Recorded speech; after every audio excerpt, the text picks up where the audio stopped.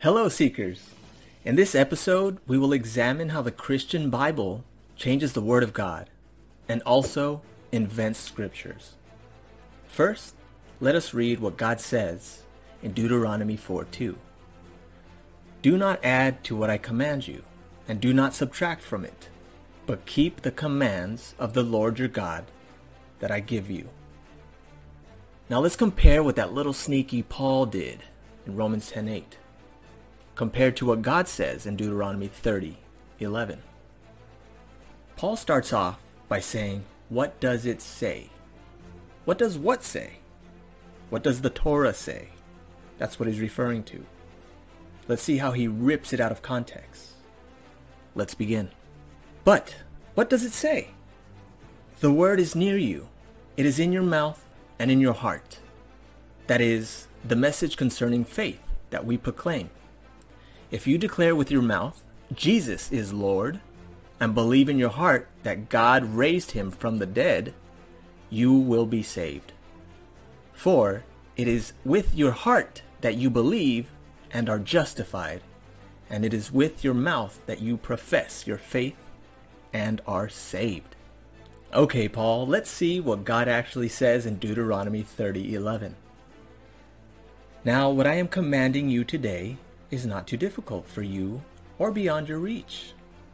It is not up in heaven, so that you have to ask who will ascend into heaven to get it and proclaim it to us, so we may obey it.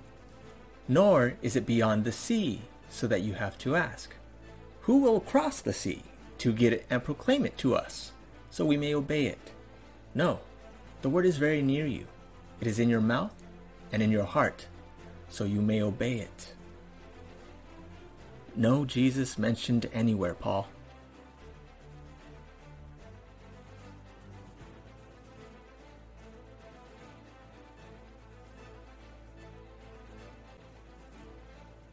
So sneaky. Now let's take a look at Romans chapter 4. Again, Paul begins by saying, What does Scripture say? Abraham believed God, and it was credited to him as righteousness. Okay, Paul, let's see what Scripture says again. What does God say in Genesis 18:19?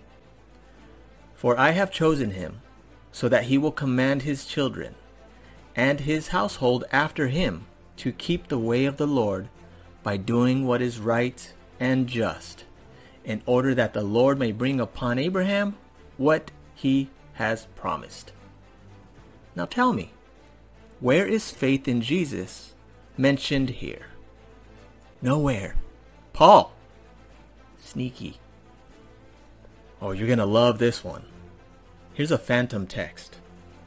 A completely made up scripture that does not exist. 1 Corinthians 15:4. And that he was buried and that he rose again the third day according to the scriptures. Well, there is no such scripture, Paul. My goodness, how did you get away with this? Let's take a look at Deuteronomy 13, which is a test of faithfulness for the Jewish people. If a prophet or a dreamer of a dream appears among you and announces to you a sign or a wonder, and if the sign or wonder spoken of takes place, and the prophet says, Let us follow other gods, gods you have not known, Jesus falls under this category, and let us worship them. You must not listen to the words of that prophet or dreamer of a dream. The Lord your God is testing you to find out whether you love him with all your heart and with all your soul. Well, there you have it. Not only does Paul change the Word of God, but he adds to it and tells you to follow another God. Christianity and all other false religions are a test from God. You, sir, run right away. Yeah, there you go. Go. Goodbye. Run. Shalom. Christian brothers and sisters, I don't make these animations to make fun of anybody. I just want you to wake up to the truth. And the truth is, there's only one God, and that's the God of Israel. Once we all realize this fact, we can heal the world. Please read the Torah. Shalom.